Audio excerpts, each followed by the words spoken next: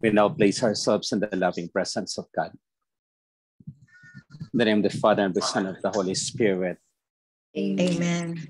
Amen. Lord, we thank you for the beginning of this month of May and for the gift of life for each and every one of us as we celebrate the feast of St. Joseph the Worker.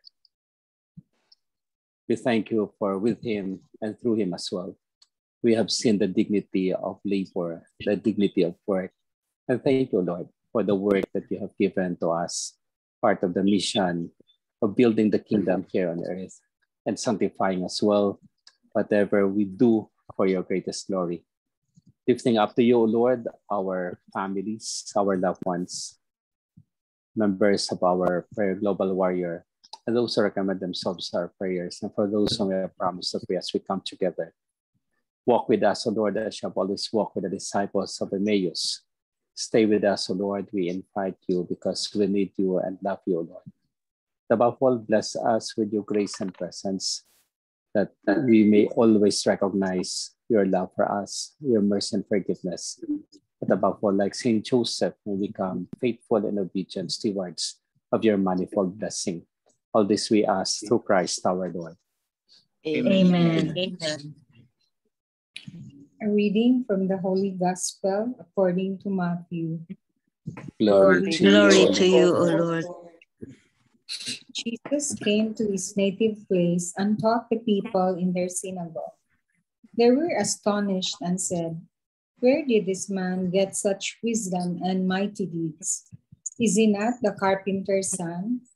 Is not his mother named Mary and his brothers James, Joseph, Simon, and Judas? Are not his sisters all with us? Where did this man get all this? And they took offense at him. But Jesus said to them, A prophet is not without honor except in his native place and in his own house. And he did not work many mighty deeds there because of their lack of faith. The Gospel of the Lord. Praise Praise to you, to you, Lord Lord Jesus Jesus Christ. Christ. The Lord will Christ. with you. Good morning and good evening. The Lord is risen. Hallelujah. Hallelujah. Morning, evening. Truly he is risen. Hallelujah. Hallelujah. The striking point always of this gospel is when Jesus was rejected and when said no prophet is accepted in his own town, in his own country, but partly in his town, among his kinsmen. You know, in, in a very practical way, for example, even as priests, we are not usually assigned to our native, to our town or to our place. Although at these years, there are moves that priests, especially parish priests, diocesan, are sent back to their place of origin with the bishop's mind that hopefully the people there who knew him, especially the family, would be a big support. But we realize in many languages that you know familiarization at times breeds content, and so even when the past is known to people, usually they stick to mind, and they do not allow even people to move on, even if they have transformed. Jesus, in the language of his mission, he went back to his own country, to his own town, the Nazareth. He wanted as well to do the mission that the fathers entrusted to him. That's why his being in the synagogue is his own way of proclaiming the good news, of allowing them to hear the message of the Father as he was sent by the Father.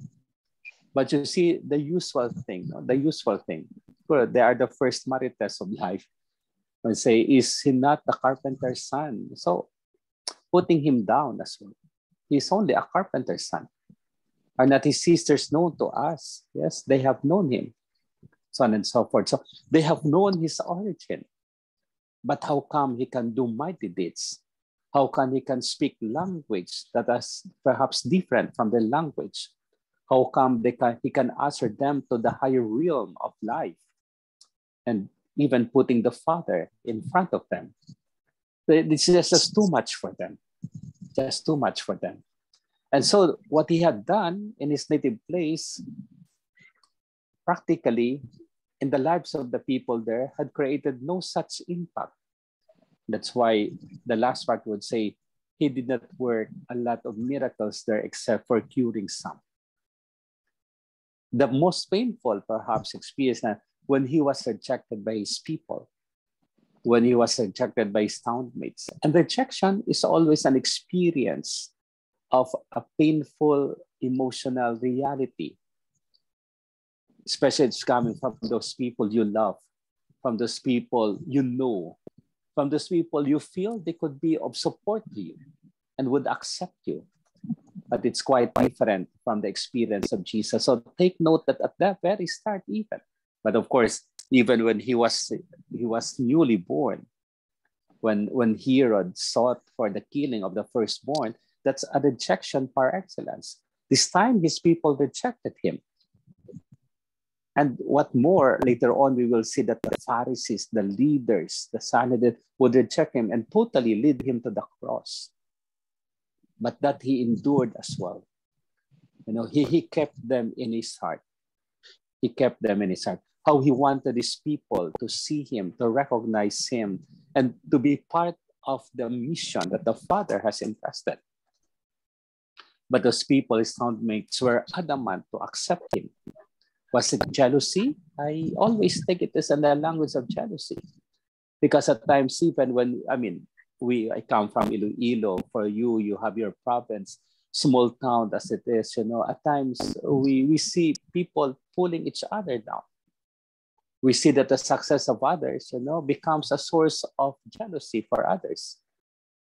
There's one place in Iloilo that, you know, when one home would buy a piano, the next days the nearby homes would have pianos. Well, you know, it's always a contest. It's always when they buy something new, whatever, whatever that house had bought, they will do the same. It becomes a contest for them. But that was not the mind of Jesus. His mind was an obedience to the will of the Father. His mind and actions were fidelity to the will of the Father. But I was saying, no, realistically, even for us, at times, we at home, we could not simply proclaim the good news. So at times you would, you would hear, ah, as a superior, and yan, as ah, a father, director, na you become the superior and the mother general, the father general. At home. It's too, it's too hard at times. It's too hard to pull our people, to pull people at home. Even when they would, so when we invite them or go to mass and say later on, and they would not go to mass we invite them to pray and join the rosary, but they would not join. It's hard at times. But you see, Jesus had experienced the same. For us not to be discouraged, but rather on his part, while he did only some miracles there, some healing of the sick, he still continued to do what is the will of the Father. But of course, later on, you realize that he would still be called Jesus the Nazarene. An element for the people of Nazareth to rejoice at this time because the Savior came from their place, the Savior lived in their place, the Savior was of their place. What do we have at this time? The Nazareth of Jesus in its one's home. The Nazareth of Jesus, it's in one's heart, in one's workplace, even today as we celebrate St. Joseph the worker seeing that, that Nazareth is the place where Jesus would visit. It's the language of the love of God for us to accept Him, not to reject. And like St. Joseph, to be obedient to the will of the Father, to continue, even at times it's hurting, even when there are rejection, because our life is not just to have all those things, but rather beyond all those things, we continue to do the will of the Father. May we become doers of the will of the Father. Amen. Amen. Thank you, Lord. Thank you, Lord. Thank you, Lord. You taught us to fight rejections.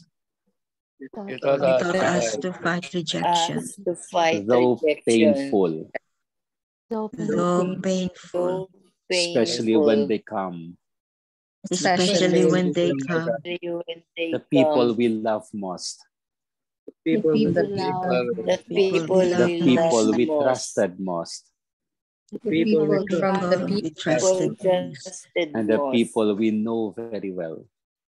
And The people All will that we know All we know very well. very well. But you did not mind all of these rejections, But we you did did not not mind mind these rejections. these rejections. but instead you keep doing on. But But instead, instead, you keep Instead, doing on. with fidelity and obedience. With fidelity and obedience. the will of the Father. the will of the The Father. will of the We ask you, O Lord, We ask you, O Lord, ask you, O to enter the Nazareth of our hearts, of our hearts, of our homes, of our homes, of our workplaces, of our workplaces, and sanctify us, O Lord. And sanctify us, O Lord. May we learn from Saint Joseph. May we learn from Saint Joseph. Who took good care of him who who took took good care took of you, care of who you, protected you, who protected who Did you- protected and showed you the dignity of labor. and showed you the dignity did of you dignity of labor. Carpenter's son, carpenter's son, carpenter's son, all of which all of which All are part of the mission entrusted to you by the Father. Part of the mission entrusted the mission that by the Father. to you by the Father. Amen. Amen. Amen. Hail Mary, full of grace, the Lord is with you. Blessed are you among women, and blessed is the fruit of thy womb, Jesus.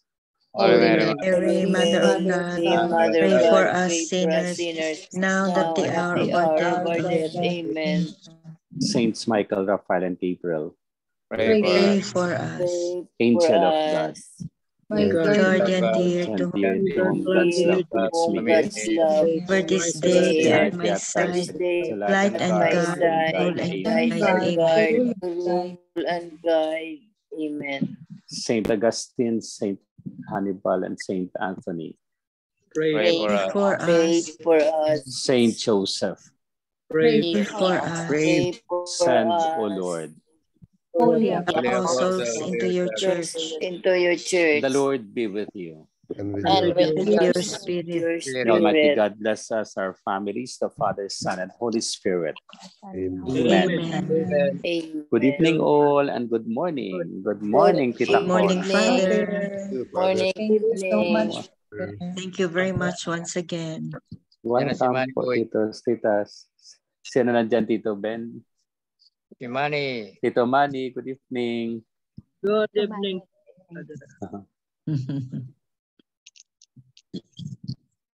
So, how's everybody? Everybody's okay. Very good.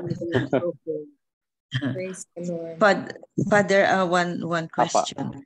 Ah, ano ang population ng when it comes to ano ah, religion nila ba sa Naz, ah, Nazareth or Bethlehem?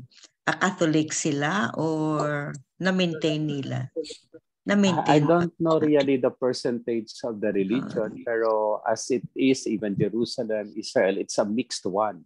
Jewish, Catholic, Orthodox. I- It's a mixed religion, really. It's a mixed religion.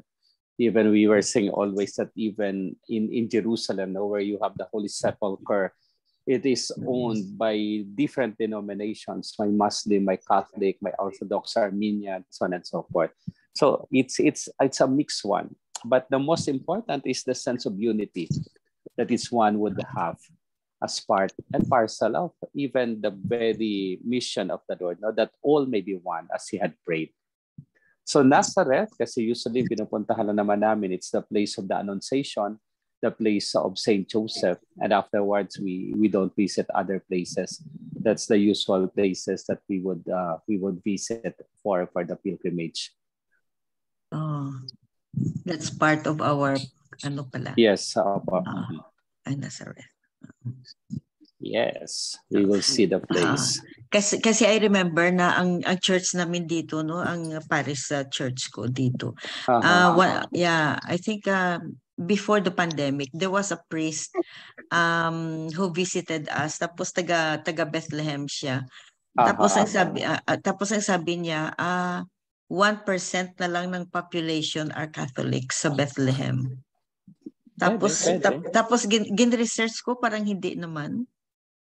I, I don't I know. don't have the research of their percentage. Oh. But practically even in the Philippines, no, before it's 85, ngayon it's just 82. I- it's uh, becoming less yung Catholics natin. Mm. So before we were the, of course, still the majority, but you know, it's lessening.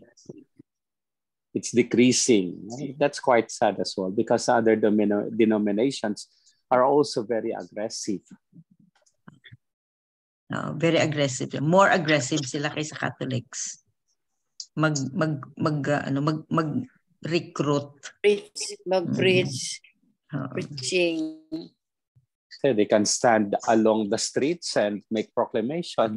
They, they, they Oo. enter the buses, they, and you know, they do their proclamation.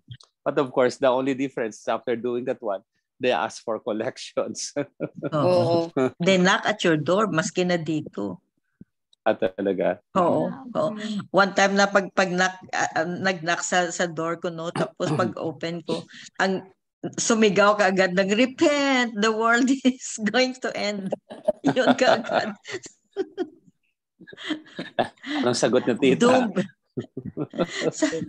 sabi ko I'm sorry I'm a Catholic and I'm very positive it will not end.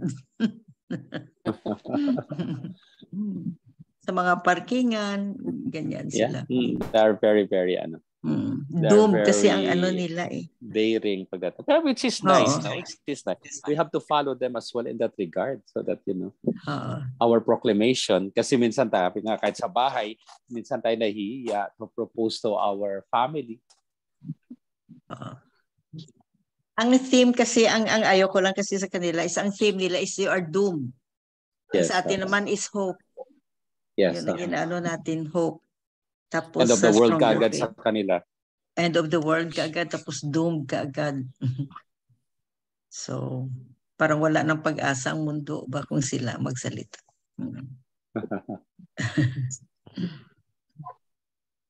So,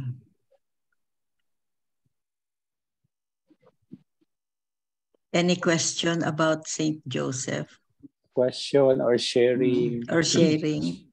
your experience. Oo.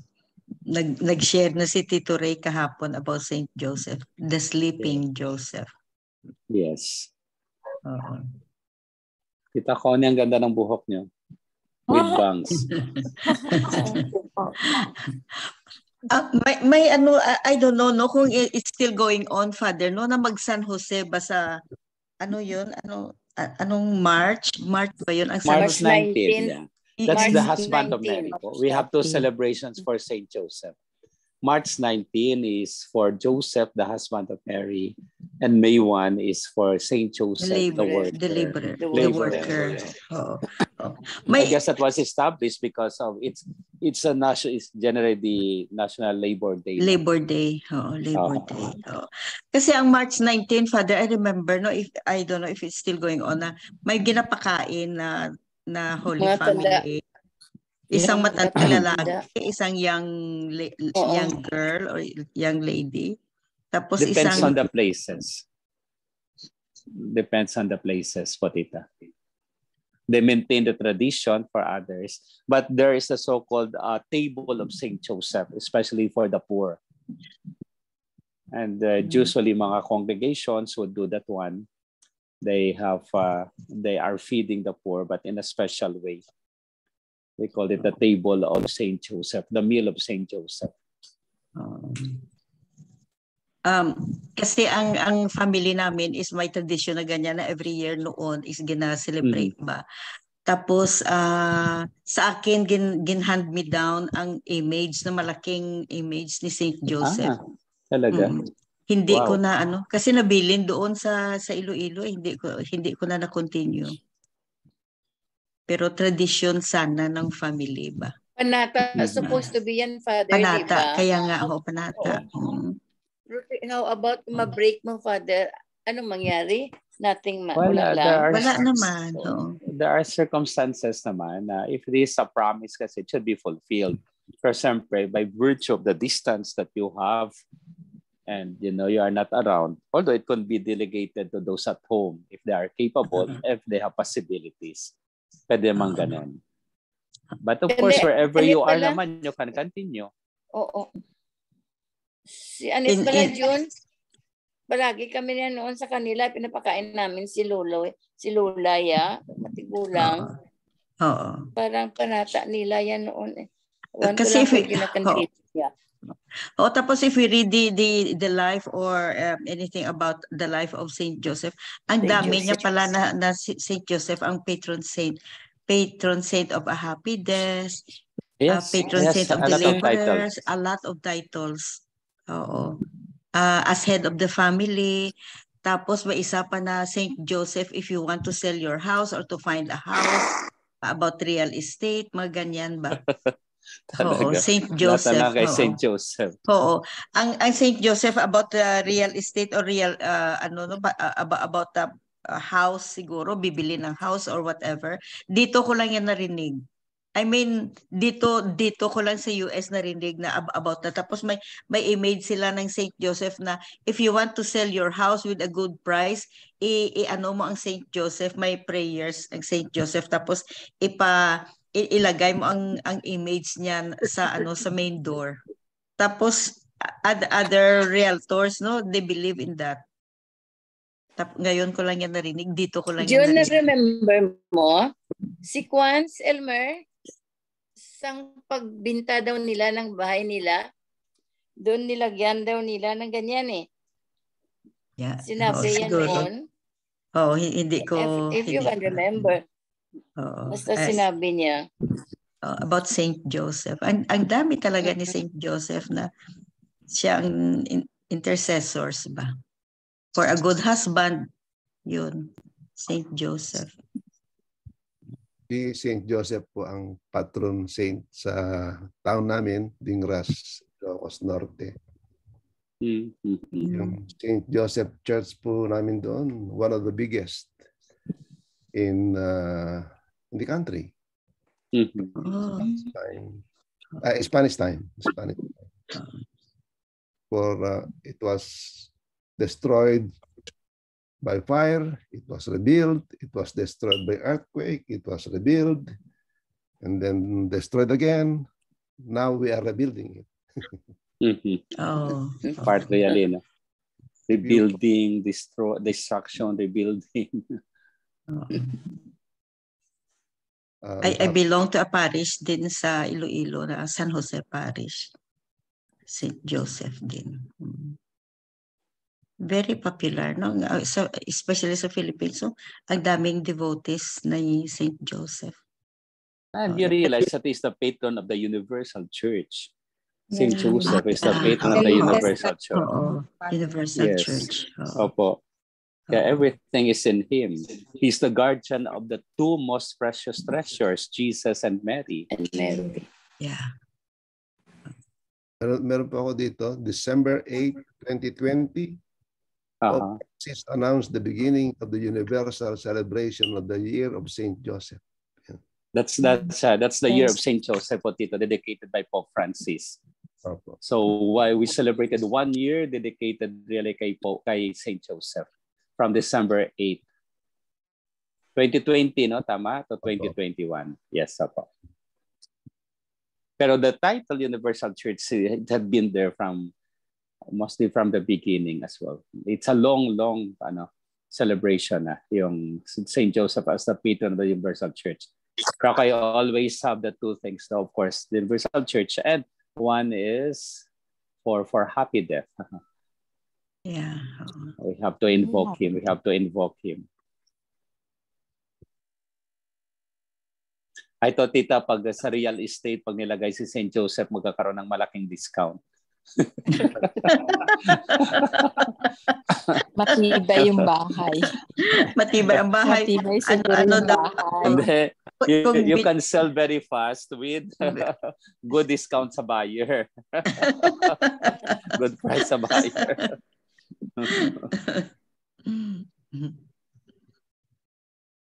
Carpenter siya eh, so bahay. Mm. yes. Oo. You spoke, you mentioned happy death, Father, no? Yes po, Tito po. Para the body of Saint Joseph. Yes. Yes. Oh, happy Very death. good. Oo. uh, if you would allow me, I would like to share the death of my grandmother. The- my grandmother who could, who wanted me to become a priest. So he was a devotee of Saint Joseph. Mhm. She died a happy death. Wow. Imagine uh, the circumstance was that my sister, whom they raised, visited her with her with my sister's daughters, etc. And my grandmother was very happy. She was already very old that time. And then uh, she died at that day, at that time that my sister visited her. And the circumstances meant told uh, of her death is like this. No? At three o'clock early in the morning, he rose from her bed and he uh, woke up everybody. And she said, Wake up, wake up. I am dying, she said. Really? Yeah, she said. And then she went back to bed and prayed that God would accept her soul. And she did not rise again. She died at three o'clock in the afternoon. Wow. Divine Oh, mercy. Mercy. She, oh, Divine mercy. That was she knew, no? She knew that she was. sister and my grandmother's younger sister. Mhm. Yeah. Wow. Galing ah. Oh. Happy 3 o'clock in the morning to 3 o'clock in the afternoon. Yes, mother, yes. yes. 12 hours. Twelve Hours. Ah, like Jesus, no? From Gethsemane. Oh. And the crucifixion. Ah, pero oh. you see, that's the grace of the Lord through Saint Joseph as well. When you ask really for a good death, no difficulty, just you know, more on sleeping, no pain and struggle. And it's the grace of God. It's the grace of grandmother God. ko hindi na hospital. Mhm. Pero no, for her to wake up everybody and say she was dying, Like- parang Oo. that's Tapos, something, di ba? Yeah, and true enough, she died. Yeah. How old was she, Tito, at the time? I think 87, Father. Ah, 87. Wow. Galing. Young, young pa yan. And she is good age na. she smoked tobacco, she drank basi. She didn't die of Ah. cancer, no? Lung cancer. And But then still, Ilocos Tobacco is healthy yata eh. Black coffee. Ah, sabi nung doktor ko, Father, dito, sabi niya, uh, did you realize that the old people, al- although they smoke, they drink alcohol, they live long? Sabi, Hmm. You know why? Because they drink black coffee that has been scientifically proven, she said. Yes, ah, black coffee. Mhm. Black coffee. My ma- grandmother drank black coffee. she drank alcoholic drink. She smoked. She prayed a lot. she prayed a lot. Yun. so, four pillars of her life dito, coffee, tobacco, prayer.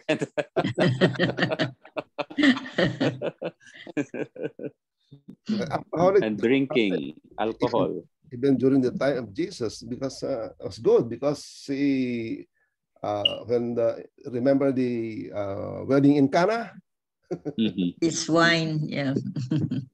uh, alcoholic drink Oo.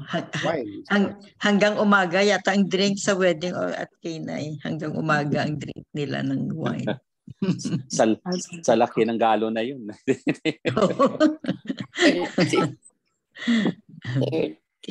And even to Saint Joseph, we pray as well for more vocations. Saint Hannibal has a very, very particular devotion, entrusting to Saint Joseph the vocations as well of the congregation and of the church for those who are entering religious and semi and then uh, priestly life. Guardian of ano siya eh, Universal Church. Wow. Ang dami niyang titles, no? Yeah. After Mary, she has he is Oo. the most revered. Oo. Imagine he took care of Mama Mary, he took care of Jesus. Wow, Yes, what very what a privilege, no? What a privilege. An- Tapos Another ang- given by Pope Francis to him is with the father's heart. Yeah. Mhm. Yes. Yeah, that's why all fathers are invited to imitate Joseph to have the father's heart. Amen. 33 days of consecration to Saint Joseph Father. Kailan Yung- tita? Last last year during the year of Ah. Saint Joseph? Yeah, last Yeah, yeah. Mhm. so 20. 2020, no? Apo. Meron talagang book, Apo, By yes po. Father David Calloway, yung converted na priest. Mhm. Na, And there was one. Oo. Ah, talaga po yung consecration to Saint Joseph. Yeah, Ah, was that's able nice. to, even the doctors, there were many doctors who were able to join. Ah, talaga. Mm. Wow, nice ah. Oo, Mm. very nice. No? Mga pedia ang nag-initiate. Oh, Mhm. mhm. Sina Dr. Chua, MJ, Nick, Noreen Oh. Chua. Mm. Oh, okay. Oo. Mm. Mm. Very nice. Galing. Saint Yeah, Joseph. the more we spread the devotion, the better. Yeah. Um, and that is our Saint Joseph. Ang feast, uh, uh, celebration po sa kanya sa town namin is March 19. March 19, yeah. March 19. So the the husband of Mary, Oh. 19. The most chaste spouse. Pero ang sa ibang town, sa town din na ng Marcos family, uh, the, cel- the celebration of the is a Ma- May 1. May 1. Ah, workers Labor kanila, Day. tita. Worker. Labor Day. Meron din siyang title na Terror of Demons. Saint Joseph, Ah, sa litany Saint niya. Joseph. Yeah, uh, Sa litany. Ah, okay. Hmm. Galing. Kay Tita MJ, kayo pag ano, anong maging litany ninyo? Anong special litany? I don't know. Tita Grace, anong special litany ninyo? Nuestra Señora de la Dolorosa de Corazon. Tito Manny, kayo, anong litany ninyo? The reader of the gospel. of the Gospel gospel warrior. Ito rin, ano sa inyo? reflectionist.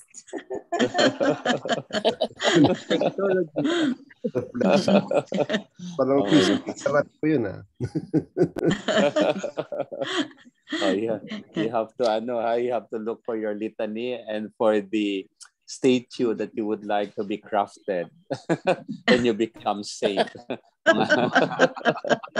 Wow. kung anong post ng estatwa ninyo, kung anong dadalhin niyo,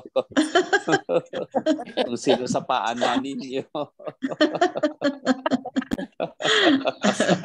Ang favorite post ni Tito Ray, nakaganon. yeah.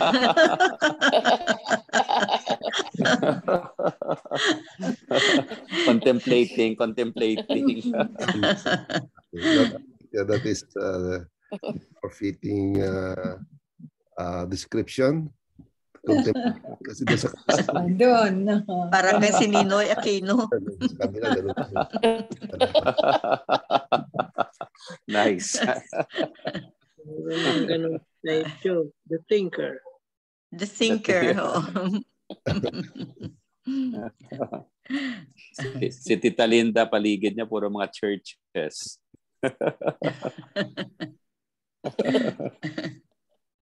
Goes to church three times a day.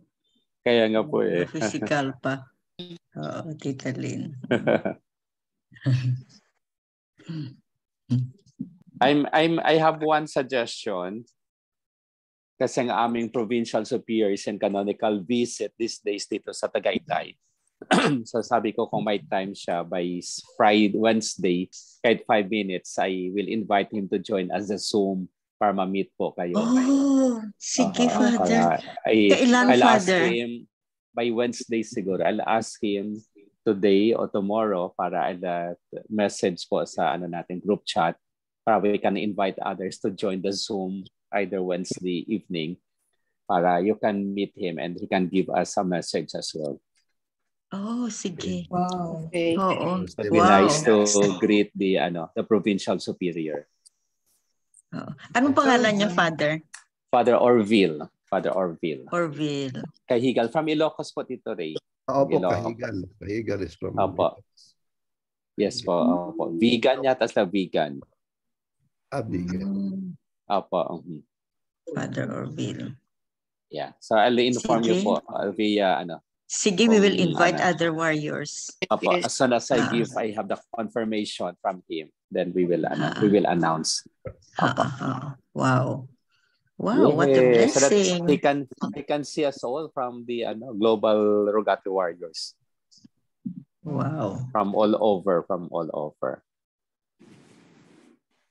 Very nice. Global. Kala ko, Father, su- superior ninyo, Ilonggo din. Hindi, uh, ngayon pa ano siya, ah, tawag dyan, ah, he's ah, from Ilocos, Ilocano. Oh. Last time from Bicol, pero well, we have one who is the uh, Vice Vicar General sa Ilonggo, pero he stayed more in Manila. From from Iloilo, Father, ang uh, Vicar Vicar General. General, opo, Ah. from Gima, ah, Igbaras. So he Ah. was staying more in Project 8. Mm. Ang, ang daming pare and madre sa Igbaras. Igbaras po, it's ano, Mm. parang Tita bawat Jace, bahay please. yata. Tita Oo. J. Oo. Tita J. Oo. Damo, Yes, Mm. damo opo. taga Igbaras nga madre kag pare. Yes. Ako lang yata Mm. hindi taga Iloilo sa grupo dito. Hindi naman din. Madami naman.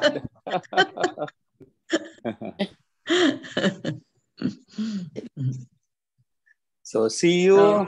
Take Thank you care very much, all. Thank you so Father. much, Father. Thank God you very bless. Love much. you all. We Okay. love you Bye-bye more, po. Father. Bye-bye. Ah, bye-bye. God bless. Bye.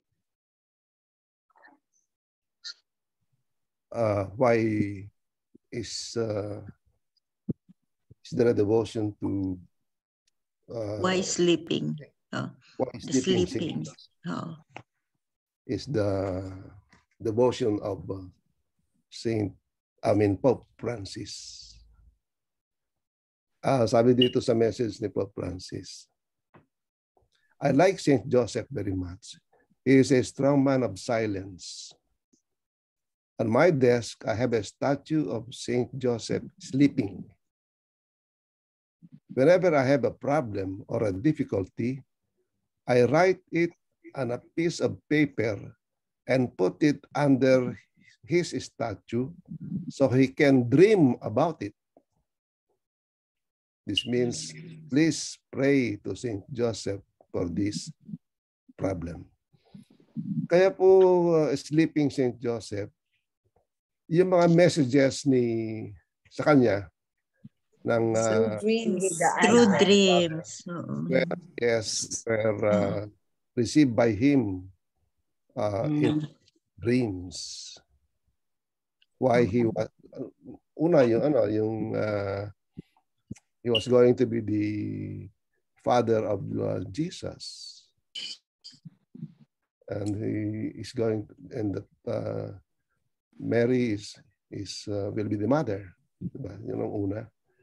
And then yung pangalawa yung he got a message that he should uh, Yung escape. flight, no? Yeah, you, he, he, he should bring Mary and uh, baby Jesus away Egypt. Oo. the king from uh, King King. Herod. Oo. yes. And then, Ah. that is another dream. The death of Herod. That's the Oo. that is the reason. Kaya po ano eh, Kaya po yung, yung background ng life-size image na nasa simbahan namin sa Dingras, yung background niya, uh, the angel uh, was facing St. Joseph, sleeping St. Joseph. And that uh, the reason is that Joseph received the messages of God while he was sleeping. Sleeping. Oh. And because of his faith, no, he followed no, the instructions of the angel, no? Yes. Because of his faith. Oh. Mm, kaya pala the, the, ano, the sleeping Joseph. Amen. Amen. Thank you, Tito Ray. Amen. Thank you, Tito Ray. Uh, so may we have the three pointers of uh, Tita Linda. There are th- uh, there are two uh, gospels for today, no Saint Joseph, and the other one is the the Good Shepherd. I am the Good Shepherd. Oo. So I think ang three pointers ni Tita Linda is about the three The point uh. The shepherd. the Shepherd. ho. Please go ahead, Oo. Tita Lynn. Mm. Now, uh, the three pointers for today's gospel. Number one, just as Jesus has total trust and full union with, with his Father, we too should trust our good shepherd totally, as he has promised that he will even lay down his life for his sheep. Number two, it is a fact of life to experience illness, pain, suffering, and many other challenges. However, in the midst of all this pain and sufferings, we will still find peace, strength, and consolation if we entrust our life to Jesus. Number three, most importantly, Jesus will lead us to eternal happiness if we remain in his fold during our lifetime on earth. Pray for the grace to remain faithful to him at all times. Amen. Amen. Amen. Thank you very much, Tita Lynn. Beautiful, beautiful message. Entrust everything. Entrust everything to Jesus, the Good Shepherd. He will Yeah. never abandon us. Never. So anyway, uh, let's have the closing prayer. Um, wala, no? So let's pray the glory be to the Father na lang. Yeah, all together, please. Glory be to the Father, Father, and to the Son, to the Holy Spirit, To the Son as it was in the beginning, is now, and ever shall be, ever shall be, world without end. Amen. Amen. In the name of the Father, of the Son, of the Holy Spirit. Amen. Son of the Holy Spirit. Oh, Good Amen. Thank you all. Thank you very much. night. Bye. Good morning. See you.